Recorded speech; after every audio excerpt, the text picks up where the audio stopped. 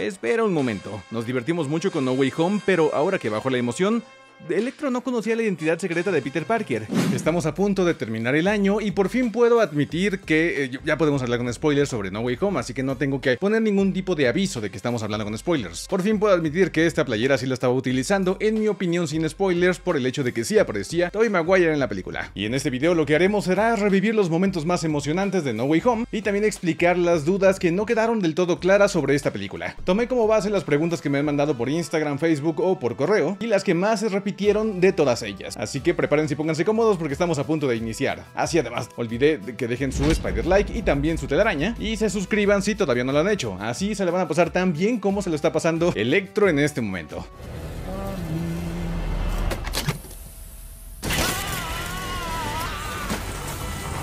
Sin nada más que agregar, vamos a comenzar. Mi nombre es Daniel Virgen y nosotros somos Geeks. Es extraño. Este poder que siento.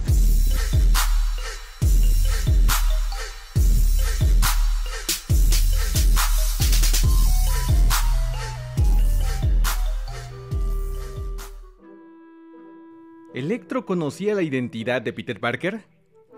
Entiendo que la mayoría tenga esta duda, y es que parece incongruente el hecho de que Electro de Jamie Foxx esté con todos estos villanos que conocen la verdadera identidad de Spider-Man, Peter Parker, siendo que Electro durante todo The Amazing Spider-Man 2 jamás encontró la identidad secreta de este personaje. Él amaba y admiraba a Spider-Man, pero su relación nunca llegó a tanto, jamás se dio cuenta de que era Peter Parker, o sea, Andrew Garfield, y aún así fue mandado hasta el universo de Marvel Studios después de que Doctor Strange hizo el hechizo de la identidad secreta junto con Octavius, el Duende Verde, Sandman y también Lagarto, todos ellos quienes sí conocían la identidad de Peter Parker y además tenían una estrecha relación con él. Es más, la incongruencia es tal que de hecho, durante el diálogo y la conversación que tiene con el Spider-Man de Andrew Garfield, le dice que no conocía su identidad pues pensaba que era un Spider-Man negro, una referencia a Miles Morales increíble, pero que termina evidenciando que no tiene mucho sentido el hecho de que Electro esté ahí. Sin embargo, debemos tomar en cuenta una cosa muy importante, y es que probablemente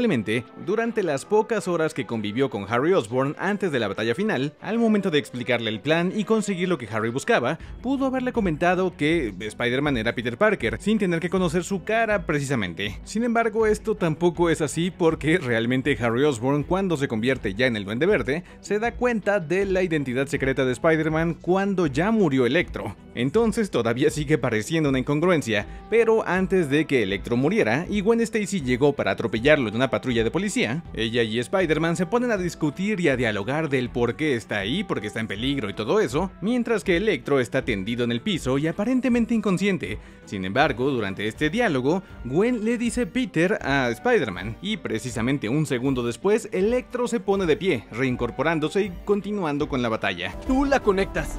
No importa qué pase. Peter. No importa qué pase. Peter. No importa qué pase.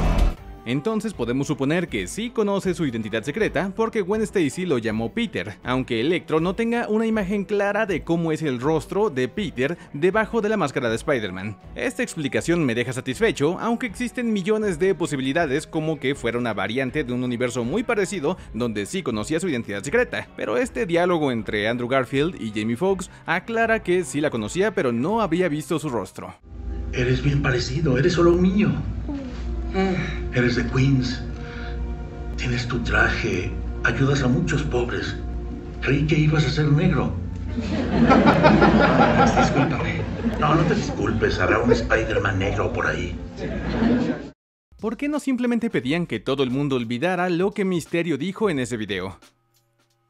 Muchos memes han salido últimamente refiriéndose justamente a esta pregunta, y es que pudo haber terminado la película de una forma muy sencilla, pero la respuesta no es así. Esto no pudo haber sido resuelto de esa forma, y es que solamente imagínense que Peter Parker le pidió esto a Strange de esa forma. Ok, todo el mundo olvidó por ese momento quién era Peter Parker, sin embargo, esa cinta de misterio todavía existía, estaba en las manos de alguien que se la mandó directamente al diario El Clarín y podrían volvérsela a mandar. El hecho de que que todo el mundo olvide lo que vieron en las noticias no significa que no puedan enterarse después. La existencia de esa cinta todavía es una realidad y podría ser mandada nuevamente a otros periódicos o por internet. Entonces Peter debió haber pedido o deseado la destrucción de esa cinta, pues tal vez, pero el hechizo de Strange no era una máquina de deseos, simplemente era un hechizo de memoria. Una vez que todo el mundo olvidó quién era Peter Parker, ¿qué pasó con los carteles y publicidad que estaba por toda la ciudad que tenían la cara de Peter Parker y de Spider-Man? La guerra en contra de Spider-Man todavía continúa. Todavía hay gente que piensa que Spider-Man asesinó a Misterio, y también queda gente que piensa que Spider-Man tenía razón. Todavía quedan carteles y publicidad pegada por todas las calles, sin embargo, gracias a que todo esto está hecho con magia, terminó eliminándose la palabra Peter Parker de cada cartel, de cada publicidad, y su rostro también desapareció por completo de todas partes. Nadie recuerda quién es Spider-Man, no existe, es un fantasma. Sería entendible también que las fotografías donde aparece Peter Parker en dispositivos móviles que no le pertenecen también borraron su imagen de ella. Esto realmente es lo más fantasioso de todo, pero es la explicación que logramos encontrarle al hecho de que la cara de Peter Parker estaba pegada por todas partes. ¿Por qué Ned, Zendaya y Happy no recuerdan a Peter si vivieron cosas en el pasado con él?